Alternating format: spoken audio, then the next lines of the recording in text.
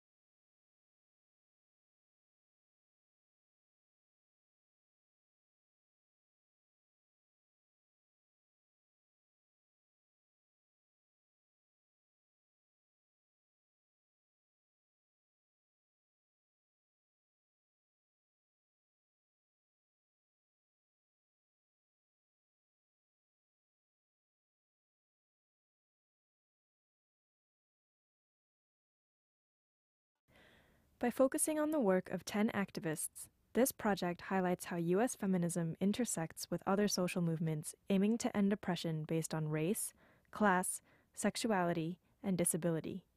This aspect of U.S. feminism has often been overlooked.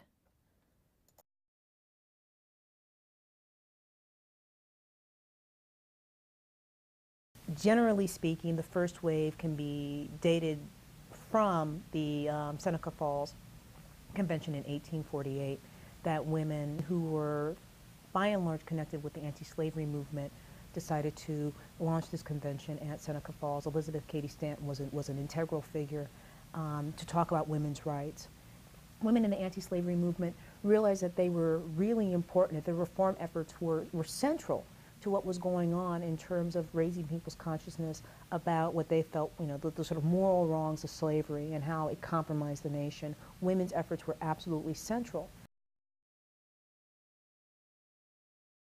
The women who came together at Seneca Falls came together to really sort of articulate women's rights. But the first wave of feminism, I think, is very typically dated from sort of 1848 and having sort of having grown out of the abolition um, impetus in this country. During the Civil War and after the Civil War, when there is an opening up of a discussion about citizenship rights in terms of slaves, you know, what's going to happen after the Emancipation Proclamation in 1863, what's going to happen in terms of making citizens out of, out of former slaves. And so the 13th Amendment abolishes um, slavery. 15th Amendment really made it very, very clear that citizenship, citizenship rights, voting rights, were going to be extended to men. Those are some of the, the highlights of the first wave. The first wave then, of course, um, pushing for women's suffrage throughout the um, latter half of the 19th century, being linked in some cases to the temperance movement um, and other reform initiatives, and sort of more and more and more radical um, approaches to trying to secure the right for women to vote up into you know, the passage of the, of the 19th Amendment.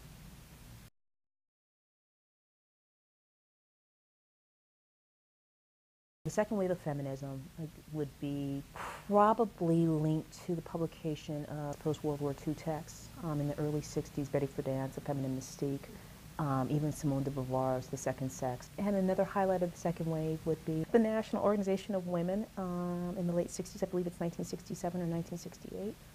Um, and the sort of you know, bubbling up of the feminist sentiment, again, some of which um, historians have connected to issues that came out of the civil rights movement.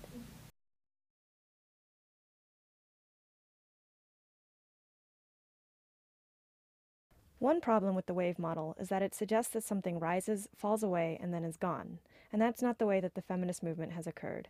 It's occurred with different people in different places doing their work at different times. Another problem with the wave model is that it highlights white women's activism when in fact women of color have been involved with all the different aspects of U.S. feminism.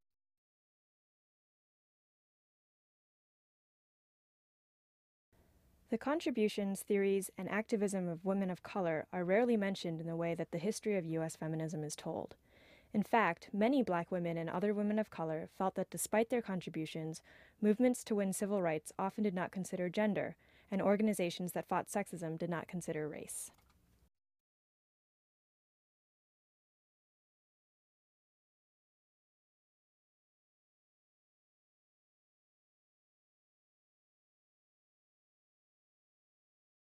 I started doing feminist work in like 1972, 73, but it wasn't until 1985 that I actually mm. chose the word feminist for myself. Because I used to say, I'm not a feminist, but, you know, mm-hmm. we used to have a whole classic, movement. Yeah. I'm not a feminist, but this is wrong. You know, violence against black women in the black community mm-hmm. is wrong. But I'm not a feminist, but I think this is wrong, kind of thing. And that was my mantra for so many years. But when I took the job at Now, the question was called mm. because a lot of people thought that I had sold out my black credentials mm. by taking the job at NOW. And I had actually women leave other organizations that I'd been a part of, wow. that were women of color organizations or black organizations, because they thought I'd sold out to the white women. What you are is you're informed, your actions are informed by everything that you are. It's not by one thing mm as opposed to the other.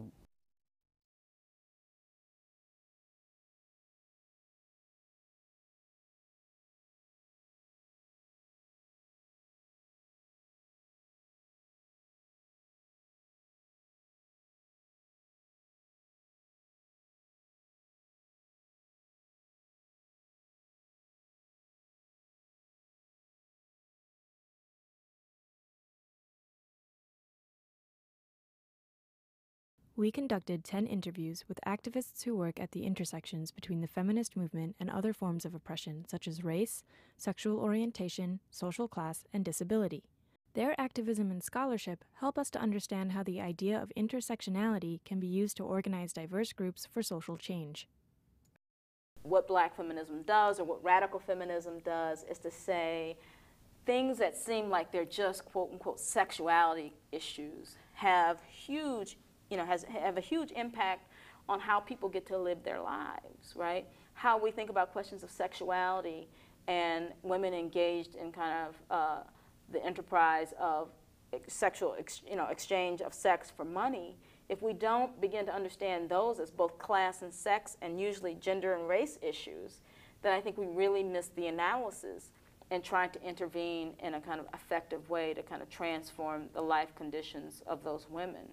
So, you know, I guess, I guess my plea is that we, again, kind of go back to intersectionality and really struggle with where these intersections because it's, it's not only just for kind of analysis and scholarship, But kind of the moment of intersection is really the moment of building a broader movement, at least to me, right? If you can find those places where people may not agree in terms of racial identification or sexual identification, but where they in fact suffer um, from state regulation or some quote unquote system of oppression, where they share that experience.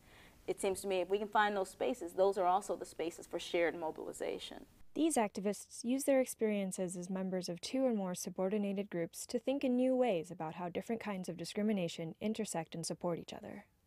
If you put women of color in the center of analysis, you start to see how sexism is a tool of racism and colonialism, mm -hmm. and vice versa, so that the two need to be addressed simultaneously. And so as I became more involved, it became clear to me that there's a class component to all of these fights that are going on. What we tried to do was figure out whether women with disabilities had been discriminated against in ways that resembled or differed from other women's discrimination or than other men with disabilities. And what we found in our work was that uh, women with disabilities were in some ways doubly uh, discriminated against. They didn't have, as, as Michelle Fine wonderfully described, the pedestal of other women um, mm -hmm. And they did have all the discrimination that women had. I think we have a, a, a, political agenda quite often in black communities and communities of color and even in feminist politics that's usually defined by the experiences of those with greater resources. You cannot have gender liberation uh, when you have when you continue to have class oppression, when you can when you have racial oppression, when you have sexual oppression, when you have all these systems of domination that exist some activists use their experiences as members of multiple groups that face discrimination to rethink what categories like race and gender mean. I'm always concerned with the question of identity and who belongs and who doesn't belong, mm -hmm. and who is a member and who isn't a member, and what is that membership based on. Um, just because someone shared a racial identity with us didn't mean that they also shared a political identity with mm -hmm. us. Who are the members? Are the members Palestinians? Or Palestinian identified. And what is Palestinian identified? Hmm. What's Palestinian? Is Palestinian a, Palestinian, a, a woman of Palestinian parents? Half? One parent Palestinian or not? Married to a Palestinian? Mm. What do we do with the women who have Palestinian women partners? I guess I don't believe in getting stuck mm -hmm. in any one identity. It's so easy to become fragmented because we live in a fragmented, fragmenting society. Activists working at the intersections between feminism and other social movements challenge U.S. feminism to rethink some familiar issues. For example, both these activists problematize the idea of reproductive rights. Reproductive oppression is economic violence. It's, mm -hmm. you know, immigration raids. It's violence against women. It's removal of children from foster into foster care. It's all of those things, yeah. the lack of affordable housing, the lack of child care, all of these mm -hmm. things form that, that quilt called reproductive oppression. And the only way to address reproductive oppression is through organizing people to protect their human rights mm -hmm. and the mm -hmm. full panoply of human rights, not just gender rights or sexual yeah. rights, but the full, the right to have a job paying a living wage or the right to receive services in a language other than English. I mean, all of these are human rights. For the same reason that I think women and feminism critique the notion that women in Western countries or other countries choose to abort female fetuses. For the same reason that feminism is skeptical of that act. It may tolerate it, but it is skeptical of it. I think feminism should be skeptical of the act of aborting fetuses because of particular characteristics, whether they're sex or Down syndrome. I think abortion has to be available to women as long as women are the pregnant people who bear children. Uh, if they don't want to be going through gestation, they shouldn't have to. But uh, I think they should think about well, if they did want to be pregnant, why don't they want to be pregnant with a fetus that has this particular characteristic?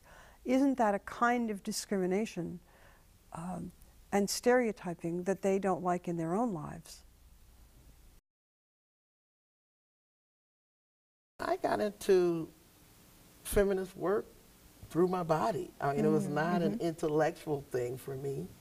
Um, I didn't. There were no women's studies courses at the time, yeah. or anything like that. There were people who were pissed off about what had happened mm -hmm. to mm-hmm. us, and we were kind of committed to it not happening to others. I mean, I'd already had the child sexual abuse, the sterilization abuse, and I didn't necessarily see myself as anybody's victim. Mm -hmm. I saw myself as a woman who was pissed off and was pretty much going to fight to make sure that what happened to me didn't happen to other women. I had known from very early that I was not going to live that way. I was not going to do the equivalent of sitting on my husband's lap and tucking him under the, uh, the chin to get something for myself. Uh, that was not my life.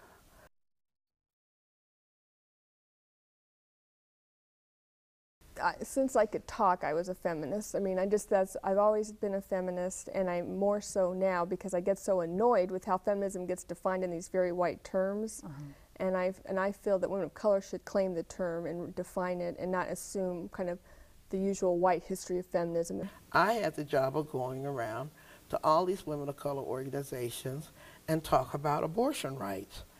And a couple of them kept asking me, well, are you a feminist? And at that point, I'm not a feminist, but wasn't making sense anymore. Mm. How can I organize women to participate in a movement I'm afraid of claiming? You know, for me, you have to fight the baggage. You have to, if you're going to get the benefits, then you have the responsibility of fighting the baggage. So to the degree that uh, we're women, and, and, and, sometimes we feminine women, you know, we wear little cute stuff every now and then.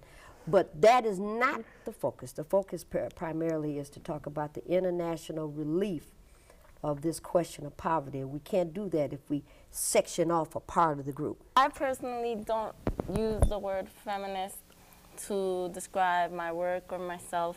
That doesn't, that, that, that's not me. And I don't relate to that history. Yeah, I, am not a feminist. you know.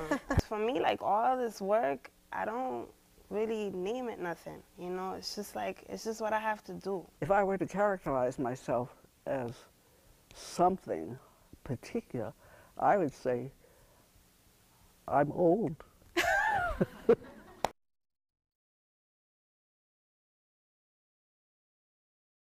on one hand, you want to talk about women's liberation, you want to talk about women's um, uh, feminism and so on.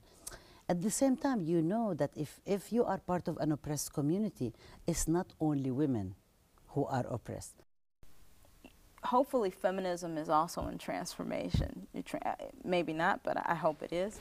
Um, and it means that if you take into account other factors or the intersection of race, then you have to kind of really think through um, a position on, not a position on patriarchy, but the ways and the contours the nuances of patriarchy. I had a lot of disputes with um, feminist and lesbian gay critics um, and saw my artwork as kind of a response to feminist and gay theory as it was being lived out at that time. I try to think of all these various movements not so much as isms, but as ways by which each section of our society that has been denied their humanity is emerging to contribute their special strengths to the creation of a new society. Disability is still not a category that is comfortable for lots of people within feminism or anywhere else to think about um, as a political category.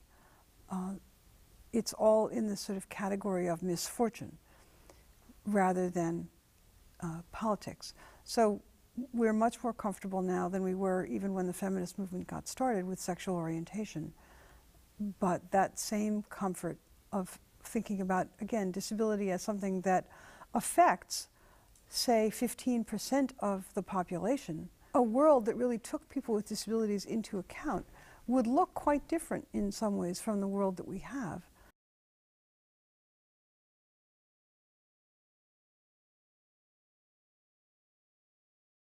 It's not one war between men and women.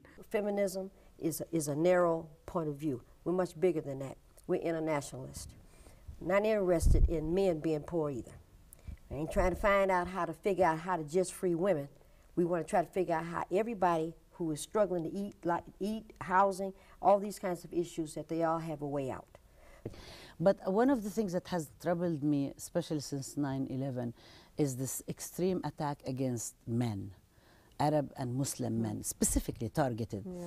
And the need to actually articulate a gender analysis that addresses this uh, victimization and targeting of Arab and Muslim men, and at the same time also acknowledges, recognizes, and theorizes and comes up with agendas for uh, women's liberation.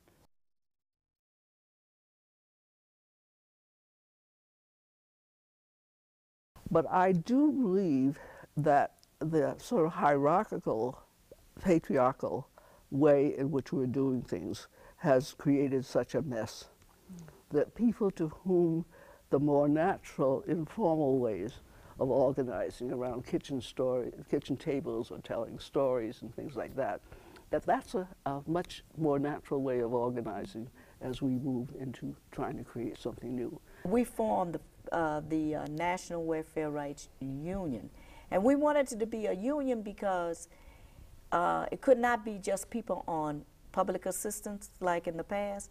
It had to be a, a unified type of thing between the employed, unemployed, organized, unorganized, folks that were facing the type of problems that poor people face, oh, and we had to solidify. We had to make sure that we fought for unity there, and this union was that type of thing that we wanted to form. I think it's a lot of problems why particularly women of color get into trouble is that they think they have to do this narrow individualistic approach mm -hmm. And they don't have a collective base to protect them to deal with the racism in the institution. You must have a commitment to community and you must kind of work to kind of transform people's lives, including your own life. So therefore we are trying to put all together one integral, integral work, map, action plan, whatever you want to call. As I told you, it's not been easy. Someone's work having experience from the top to the bottom leaderships. Now the leadership that we want to build is a collective that we are being building.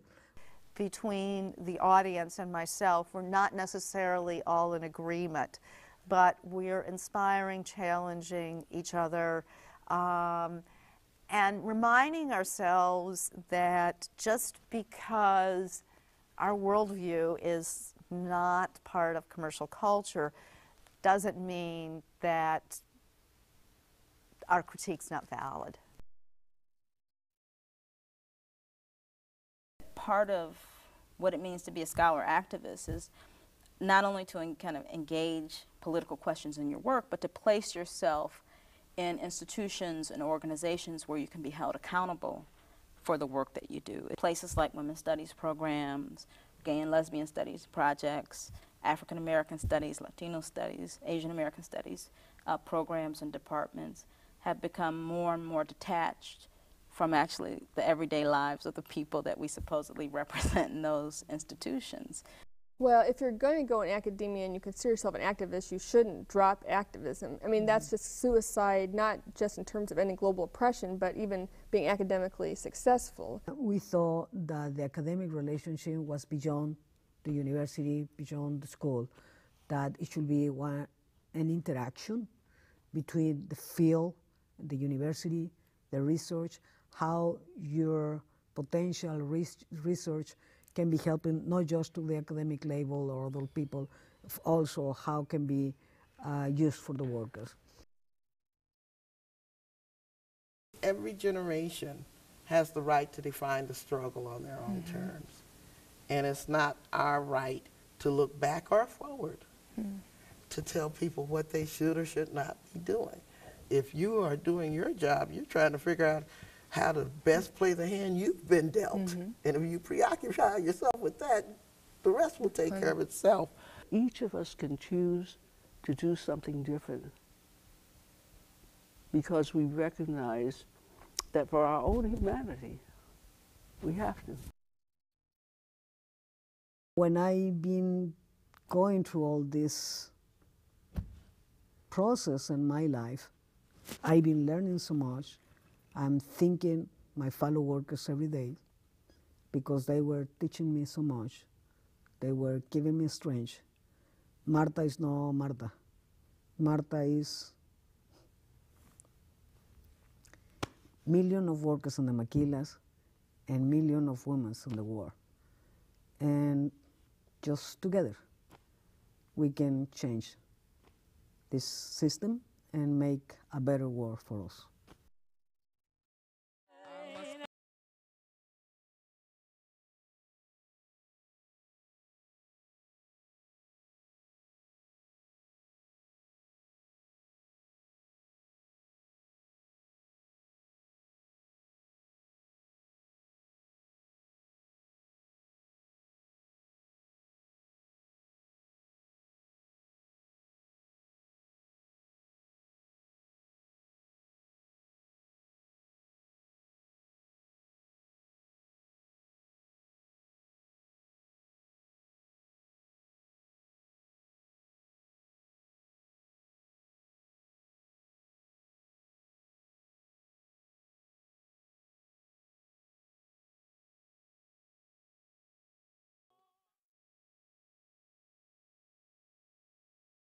I am not defined by my oppressions, and nobody should be.